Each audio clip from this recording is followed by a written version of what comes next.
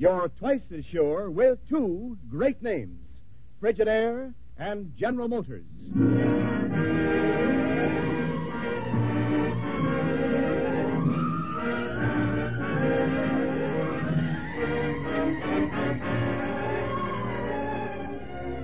Frigidaire presents the first radio performance of Franz Werfel's epic story, The Song of Bernadette, starring Vincent Price, Lee J. Cobb, and introducing a rising young actress in the role of Bernadette, Vanessa Brown.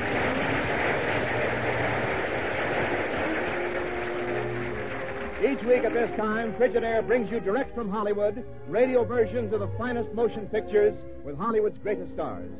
Today, Hollywood Star Time presents Hollywood's newest discovery, Vanessa Brown, in the Song of Bernadette. Vincent Price, currently appearing in the 20th Century Fox picture Dragonwyck, will play His Reverence, the Dean of Lourdes. Lee J. Cobb, soon to be seen in Anna and the King of Siam, portrays Dr. Dozous. And Pedro de Cordova plays Father Pomian.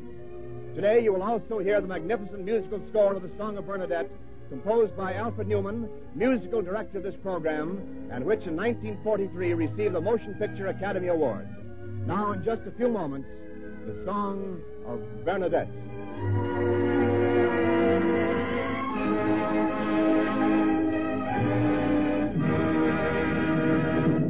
You're twice as sure with two great names Frigidaire and General Motors.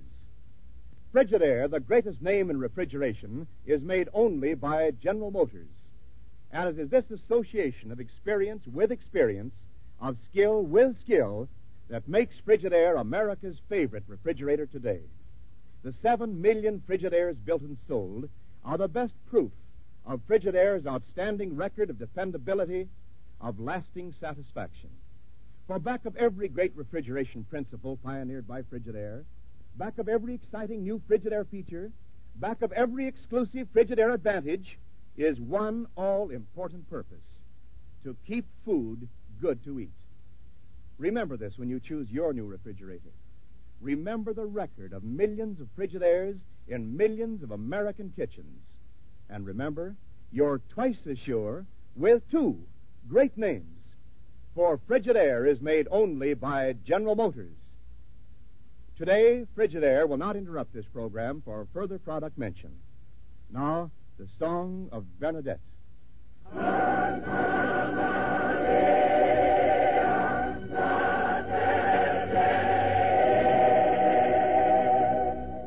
Those who believe in God, no explanation is necessary.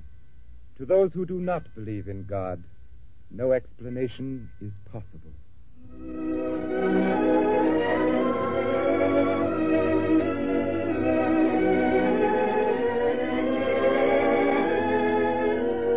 This is the story of Bernadette Soubirous, child of humility, daughter of poverty, living in squalor in a hutch that had once been a jail.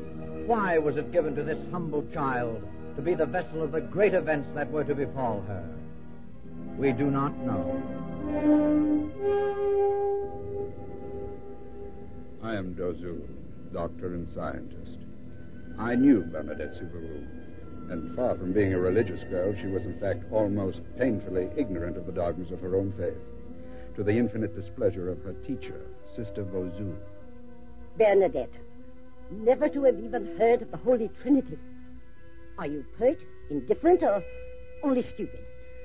I'm stupid, Sister Vauzous. You're pert. When His Reverence the Dean of Lourdes comes to visit us, I shall inform him of your pertness. Yes, Sister Vauzous.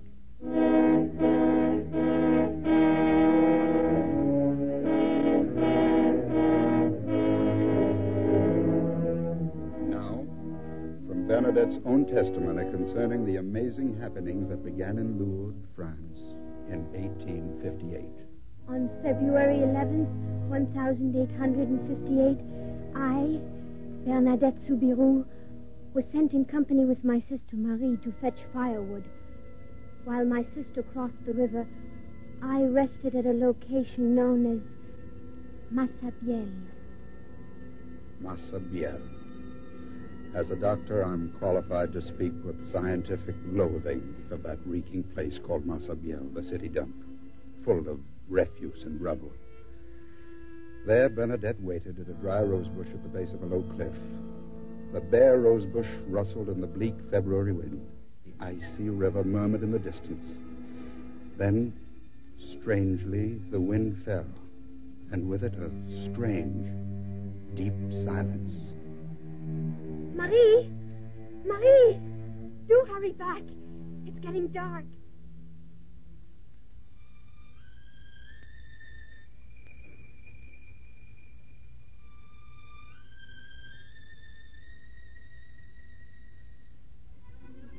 A leaden pallor overcomes the winter sky. Bernadette, what is this foolishness Marie tells me about your having seen a beautiful lady at Massabielle? But a lady was there, Maman.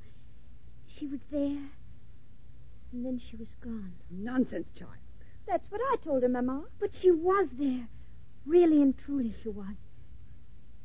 She was all in white. And she wore a blue girdle. And she had a golden rose on each foot. She kept smiling and nodding at me. I've never seen anything so beautiful in all my life.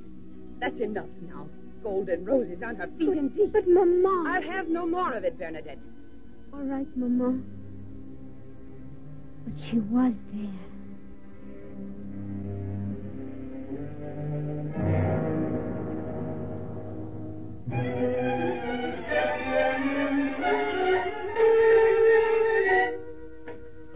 Mama, Mama. What is it, Marie? Bernadette. What about Bernadette?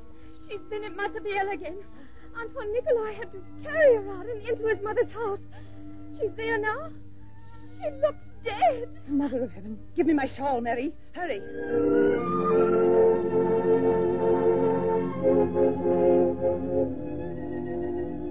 Bernadette, Bernadette, are you all right? She's all right now, Madame Soubirous. Antoine and I gave her some warm milk at once. I'm all right, Maman. Really. What happened? The lady was there again today. Spoke to me. Spoke to you? She said, Will you do me the grace of coming here each day for 15 days? And then she added, I cannot promise to make you happy in this world, only in the next. And to hear this, I ran through the streets like a madwoman. Come home with me, Bernadette. You'll be the laughing stock of Lourdes. Come, child. Mother, as long as I live, never will I see anything as beautiful as the face of that girl as she lay there at Massabielle. Oh, not, not even touch a being like that.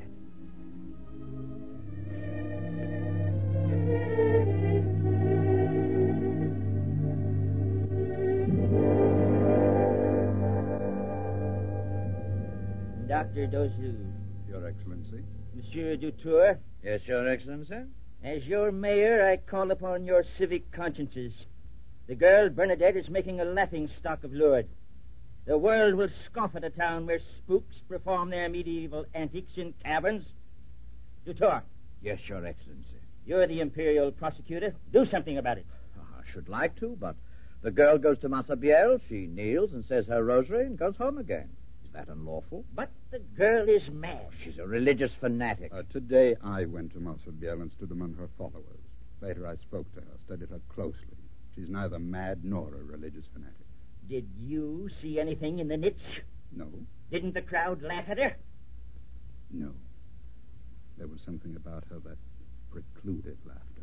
I say this is a matter for the church, not the civil authorities. The Dean of Lourdes insists that it is not a matter of the church. Well, the Dean of Lourdes is going to have to deal with Bernadette herself today. Hey, Doctor, what's that you say? The girl says that the lady gave her a message to take to the Dean. Well, gentlemen, the gods are with us at last. Perhaps now the church will have to take a stand in the matter whether it wants to or not.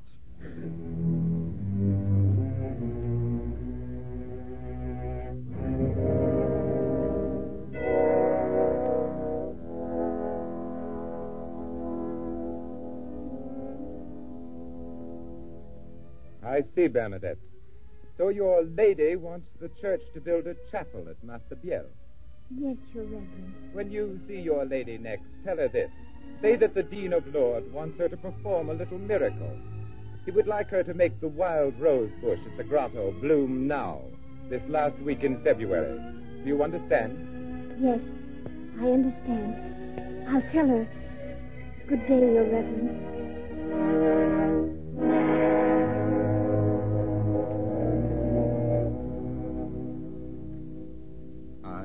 Dr. Dozous, was among the great crowd that watched and waited as Bernadette kneeled in the cold rubble of Massabielle and requested a small miracle. In the winter twilight, the girl's face was aglow with adoration and ecstasy. Suddenly, she pressed her lips against the cold rock of the cliff, as though she kissed the feet of someone who stood there. What hysterical nonsense. Dr. Dozous, shall we leave? You may leave Dutour, not I. Now what? What's she scurrying about like that for? Is she quite out of her senses? Bernadette seemed to be receiving some sort of directions from the invisible being on the ledge above her. And she seemed confused. Where? To the spring? She started to the river, stopped again. No. Not the river. Spring. Oh. Oh, yes. Manifestly, there was no spring. But suddenly, the girl plunged to the ground and began digging furiously in the sharp soil with her bare hands, smearing her hands and face with damp earth, then trying to drink it. It was too much for me and for her poor mother. Bernadette! Stop! Stop it! Stop it! Oh, Bernadette, in heaven's name, come away. Come away. No, Mamma. I must wash myself at the spring. She said But there is no spring, my child. but there must be. The lady said so. Take her home and put her to bed, Mother. I'll come later. Come, Bernadette. Come, my poor child. There is a spring. There must be. The lady said so. The lady said so. Bernadette says there is a spring. There is a spring. Hmm? And who are you? Antoine Nicolau. And uh, did you expect the rose bush to bloom? I believe in things, monsieur. One must. Yes. How different from Dutour, the imperial prosecutor. He believes in nothing. I don't care about Monsieur Dutour. I only care that Bernadette. Listen. Water. Naturally, the river. No. The sound comes from the grotto. Look. Look. I looked. And yes. Yes, live water, snaking swiftly across the hard ground, out of the shadow of the low cliff. Water, bubbling and gushing from the dry hole that Bernadette had scratched out of the hard earth with her bleeding hands. Water. There is a spring. Bernadette knew. Come back, all of you. The lady was right. There is a spring. Come back. A miracle.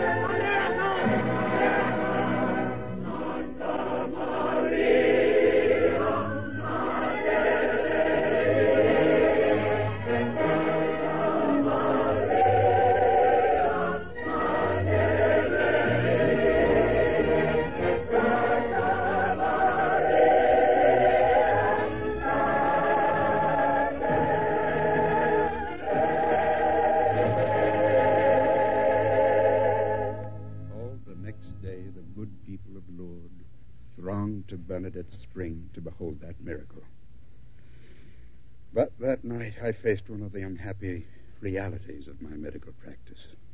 The infant son of Charles and Croisine Bouhouhorts, hopelessly ill and crippled since birth, was dying. When I arrived, Father Pomian, a young priest, was already there. My child. Please, Madame Aurore, it's best this way. A child would have dragged through life a hopeless cripple. No. I want my child to live. It's too late, Madame. No. The spring. Give him to me. There's still time for the spring. I won't let him die. I want my baby to live. She's heading for Massabielle. After her.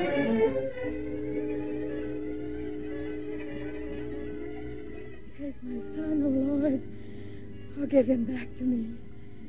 Take him. Give him back to me. Madame Dubois! Madame! Take him. Oh, return him whole and strong to me, O Lord. O God. O King. Madame Dubois, oh, stop! That freezing water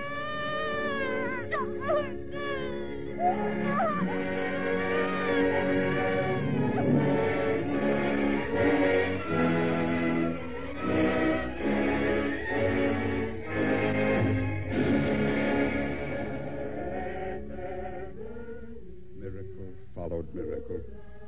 The processions of the afflicted poured into Lourdes, converged on the spring of Massabielle. And many were cured. And all our science stood speechless for a reason or an explanation. But if the scientific world was disturbed, so was the world of His Reverence, the Dean of Lourdes. Bernadette, I sent for you to come here to the parish house. I must speak most seriously with you. Yes, Your Reverence. The thing that you have caused to happen at Massabielle has made Lourdes the center of world excitement. It's not my doing, but the lady's. Yet if these indeed are true miracles, and I believe they are, then you, Bernadette, are the rarest of mortal beings. Come in. After you, Professor. Uh, thank you, monsieur. Your Reverence, I am Dutour, Imperial Prosecutor for His Majesty Napoleon III. I know that, monsieur. And this is Professor Galatine. Professor? Uh, briefly, Your Reverence, I am Professor of Psychiatry and Neurology at the University. I am afraid, of... Professor, that you won't find Lourdes a fertile field for your studies. This girl is not a lunatic. If the child does not come with us willingly, we will invoke the law. Good. And when the police come, I'll say, load well your guns, for your path lies over my dead body. Well? Naturally, Your Reverence. The state should regret so untimely a death for the eminent Dean of Lourdes. Come, Professor. Good evening, Your Reverence. Do, do they really think I'm mad? Oh, no, child. But they will never give you peace again. Once the lady said I could never be happy in this world. Only in the next. Bernadette, a bishop's committee of investigation has admitted the possibility that you were chosen by the powers above. Do you know what that means? No, Your Reverence, I don't. It means that for the rest of your life, the wisest and greatest men of the church will be watching every move that you make. Oh, no, no, I don't want that. It's no small thing, Bernadette. Heaven chose you. Now there is nothing for you to do but to choose heaven. I don't know what that means. The convent at Nevers is full of peace and quiet. It is a beautiful and lofty order. Your old school teacher, Sister Vauzous, is there now. Sister Vauzous. I know. She never believed in you or your lady. But now she must believe. She must.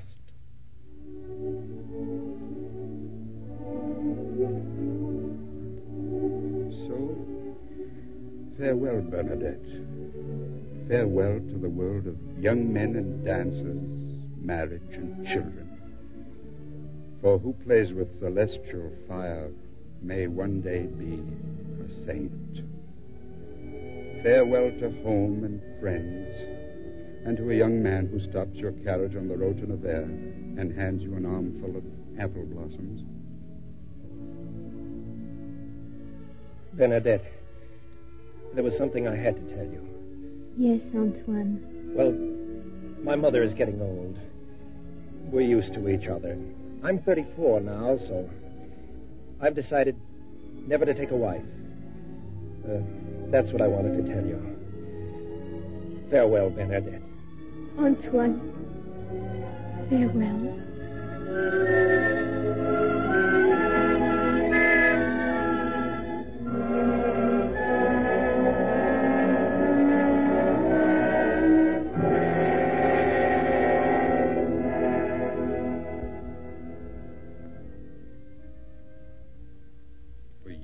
Bernadette works and studies at the convent at Nevers. No work is too repellent, no humility too great for her. She is a novice no longer, but now Sister Marie Bernard. And always, always she's under the cold, ascetic, doubting eyes of Mother Vauzous, her old school teacher. Until one day Mother Vauzous called Sister Marie Bernard out of the courtyard to talk to her bitterly in her cell. Sister Mary Bernard, why do you limp? Oh, oh, it's nothing, Mother Vauzous. It gains sympathy from the others. Is that it? Oh, no. Ten years ago I doubted you. I have not changed. In our sacred history, the chosen ones have always been those who have suffered. Why then did God choose you? Why not me? I cannot answer that. I know what it is to suffer. Look into my eyes. They burn like the very fires of hell. Why? Because they need rest and sleep. My hands are gnarled. My body is racked and broken from serving God in humiliation. Yes, I have suffered. And if I have not seen the Blessed Virgin, how can you who have never felt pain dare to say that you have seen her? I don't know why I was chosen. You are a thousand times more worthy. If I only could find some evidence that you have suffered, maybe then I could believe. Maybe then these monsters of doubt and hate would stop consuming my very soul. For the love of God, sister, is there some proof? Perhaps. Perhaps I can help you. Here. If you will look at my leg, this is the reason that I must limp. You see? Mother of God. Oh, sister. Sister, forgive me. Forgive me, sister. Forgive me. Forgive me.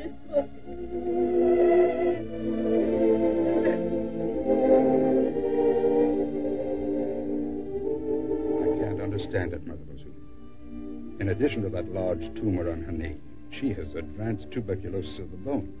Go on, Dr. Dozous. She must have had this affliction for years. The constant pain and suffering from this disease is much too horrible to describe. And I wanted proof. I have my proof. May God pity me.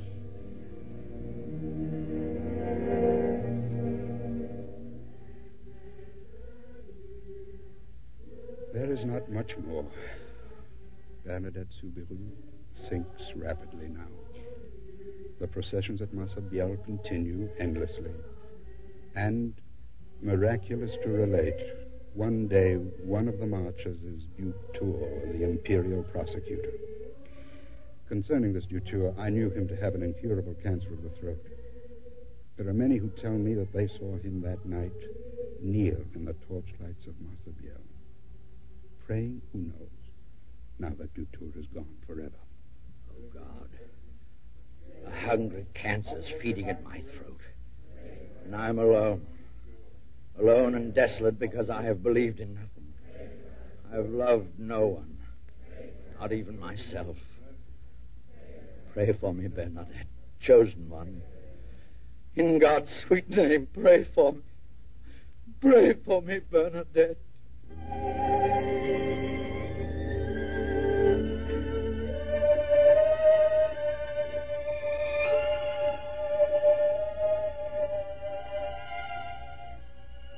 Sister Mary Bernard. Bernadette. Yes, Mother Vauzous. His Reverence, the Dean of Lourdes, is here. We have been discussing a trip for you, Bernadette, to Massabielle, to the spring. That is not possible. And why not? The spring is not for me. The lady said, I cannot promise you happiness in this world, only in the next. Spring is not for me. But, my dear sister, I, I only wish to see the lady once more before I die.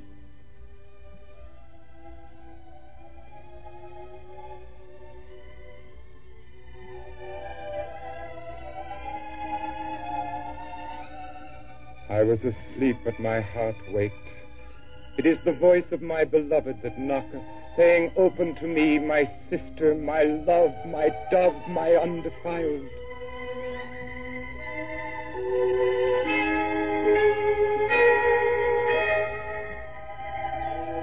The lady. The lady is here.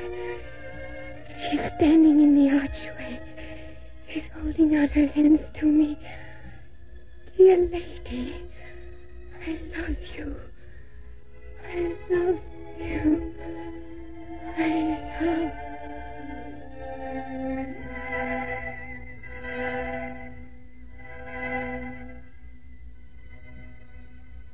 Your life begins, Benedict. You are now in heaven and on earth. Behold, my beloved speaketh to me. Arise, make haste, my love, my dove, my beautiful one, and come for winter now is past. The flowers appear on earth. Arise, my love. Arise and come away with me. Arise! Arise!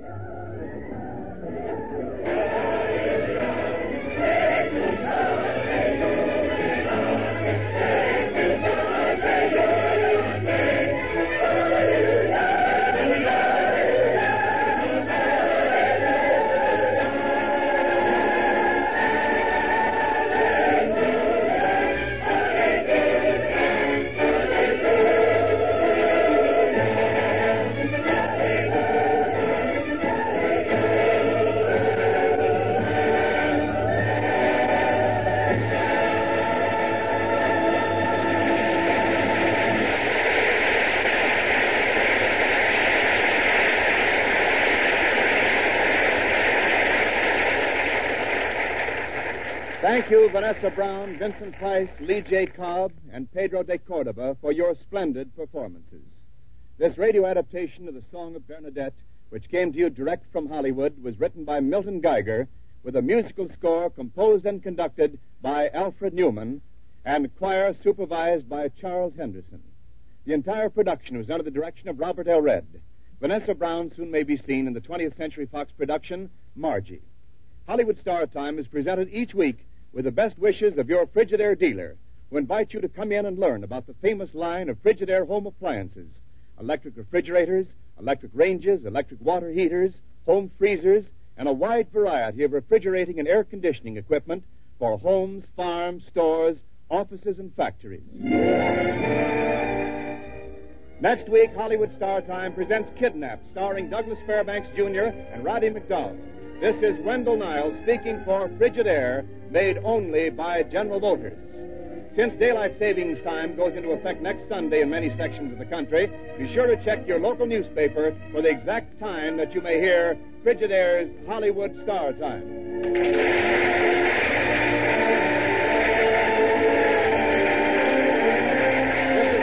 The Columbia Broadcasting System.